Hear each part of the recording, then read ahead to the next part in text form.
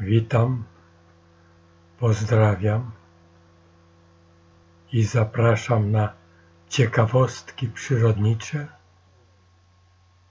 Dzisiaj sensacyjne starcie kulon-waran.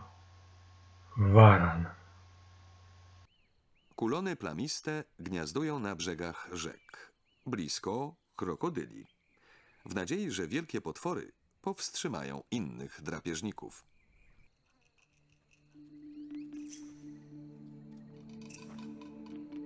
Plamy na rozpostartych skrzydłach są jak fałszywe oczy, nadając im dramatyczny wygląd.